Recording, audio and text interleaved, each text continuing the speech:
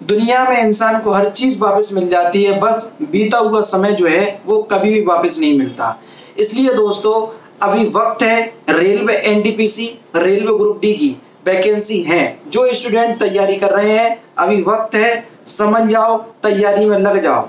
जी हाँ दोस्तों, अगर ये वक्त निकल गया तो आप खुद जानते हैं कि पता नहीं, ऐसी इतनी ज़्यादा वैकेंसी कब देखने को मिले। तो नमस्कार दोस्तों, स्वागत है आप सभी का इंडियन स्टडी के हिंदी यूट्यूब चैनल पर। चलिए स्टार्ट करते हैं। दोस्तों, जैसा कि आप सभी जानते हैं कि मैं डेली बेसिस पे आपको डेली जॉब्स न्यूज़ जो होती हैं, उसकी सीरीज़ प्रोवाइड करवा रहा हूँ। ठीक है? तो डेली बेसिस पे मैं आपको न्यूज़ लेकर के आता हूँ कि किस वैकेंसी का रिज़ल्ट आ गया है, कौन सी नई वैकेंसी आई है। तो सारा कुछ मैं आपको वीडियो में बताता हूँ।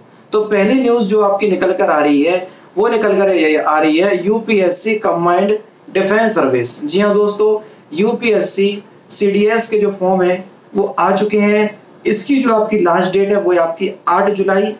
12 जून से फॉर्म स्टार्ट हो चुके हैं। जिन्होंने ग्रेजुएशन करा हुआ है तो वो इस फॉर्म को अप्लाई कर सकते हैं। एज का जो क्राइटेरिया है, वो है आपका 20 से 24 साल। अगर आपकी एज 20 से 24 साल के अंदर है तो आप यूपीएससी सीडीएस के फॉर्म जो है, वो अप्लाई कर सकते हैं। जनरल और ओबीसी कैटेगरी के लिए जो फ़ी रखी गई है दो सौ रुपये बाकी अदर कैटेगरी के लिए फ़ीस जो है वो है आपकी ज़ीरो तो अगर आप लोग इच्छुक हैं तो इसके फॉर्म अप्लाई कर सकते हैं। नेक्स्ट जो आपकी न्यूज़ निकल कर आ रही है वो निकल कर आ रही है आपकी national health mission Madhya Pradesh. जी हाँ दोस्तों यहाँ की जो इसके फॉर्म है जो आ, आ चुके हैं लेकिन इस वैकेंसी की जो खासियत है ये वैकेंसी ओनली ऑन फीमेल के लिए है जी हाँ दोस्तों, जिन्होंने बीएससी नर्सिंग से किया हुआ है। तो आप लोग इस फॉर्म को अप्लाई कर सकते हैं। मैक्सिमम एज जो रखी गई है, वो रखी गई है आपकी 35 और मिनिमम एज का जो क्राइटेरिया है, वो कुछ भी नहीं है। अगर आप बीएससी नर्सिंग से करे हुए हैं और फीमेल है तो आप इस फॉर्म को अप्लाई कर सकते हैं। अप्लाई तो करके देख लो, क्योंकि इसकी ओबीसी जनरल कैटेगरी और एससी कैटेगरी सभी के लिए जो फ़ीस है, वो है ज़ीरो रुपीज़ तो इसलिए अगर आपने बीएससी नर्सिंग से किया हुआ है तो आप कम से कम इस फॉर्म को अप्लाई कर सकते हैं।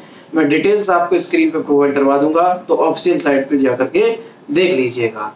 नेक्स्ट न्यूज़ जो आपकी निकल के आ रही है, वो आ रही है आपकी आरपीएफ कांस्टेबल के जो आपके फ़िज़िकल एडमिट कार्ड है, वो आ चुके हैं। अब आप सोच रहे होंगे कि ये तो आपके काफ़ी पहले आ चुके हैं। जी हाँ दोस्तों, लेकिन ग्रुप ए के जो आपके ग्रुप ए के जो आपके एडमिट कार्ड हैं, वो आ चुके हैं आरपीएफ रेलवे प्रोटेक्शन फोर्स ठीक है? इसके जो आपके एडमिट कार्ड हैं, वो ग्रुप ए वाले आ चुके हैं फ़िज़िकल एफिशिएंसी टेस्ट के। तो जिन भी स्टूडेंट का फ़िज़िकल है तो आप एक बार ज़रूर से डाउनलोड कर लीजिएगा। नेक्स्ट न्यूज़ जो है दोस्तों, वो है आपकी नेक्स्ट न्यूज़ अगर हम बात करें तो यूपी जेल वार्डर के यूपी जेल वार्डर की जो आपके एग्ज़ाम डेट है वो कब है? तो दोस्तों, अगर हम यूपी जेल वार्डर के एग्ज़ाम डेट की बात करें तो देखो, अभी ऑफिशियल नोटिफिकेशन कुछ भी नहीं है, क्योंकि डेली बेसिस पे हमसे स्टूडेंट पूछते हैं, इसलिए मुझे बताना पड़ता है।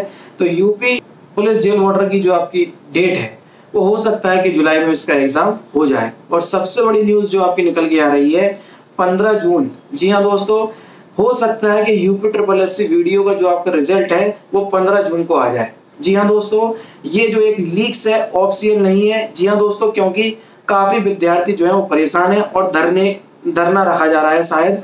लेकिन उसको मैं प्रोत्साहन नहीं देता हूँ, क्योंकि भर्ती बोर्ड के पास और भी अदर काम होते हैं। तो इसलिए दोस्तों, काफ़ी तो टाइम हो गया हालाँकि रिज़ल्ट आ जाना चाहिए था। तो रिज़ल्ट जो है, वो हो सकता है कि पंद्रह जून को आने की पूरी पूरी संभावना है यूपी ट्रिपल एससी वीडियो का। ठीक है? तो दोस्तों, फ़िलहाल सिर्फ़ इतनी ही न्यूज़ थी, जितनी मैंने आपको बता दी। जो फॉर्म आप अप्लाई करना चाहते हैं तो मैं स्क्रीन पे सारी डिटेल्स प्रोवाइड करवा दूँगा तो आप लोग फॉर्म भी अप्लाई कर सकते हैं। तो दोस्तों, फ़िलहाल की वीडियो में सिर्फ़ इतना ही। अगर आपको वीडियो पसंद आए तो प्लीज़ दोस्तों वीडियो को लाइक कीजिए शेयर कीजिए, और साथ ही साथ मेरे चैनल को सब्सक्राइब करना ना भूलें, क्योंकि मैं रोज़ाना ऐसी तरह की वीडियोस आप लोगों के लिए लाता रहता हूँ। नमस्कार दोस्तों। जय हिंद, जय भारत।